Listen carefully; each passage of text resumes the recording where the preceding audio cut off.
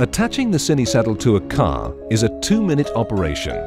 Specially designed clips called stirrups provide external tie-off points to secure your camera to any vehicle. Anchors provide internal tie-off points. These accessories, along with a high-strength nylon rope, are provided with every Cinesaddle. Three knots are required for installation and these are described fully in the accompanying instruction book.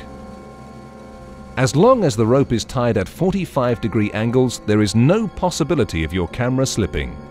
During our test runs, we exceeded 60 miles per hour and our footage is remarkably stable. By mounting your camera to the side of your vehicle, you show both tracking moves and reverses. By mounting your camera to the back of your car, it is possible to lead the subject you are photographing. Set up any tracking shot you can imagine and find a new freedom of movement.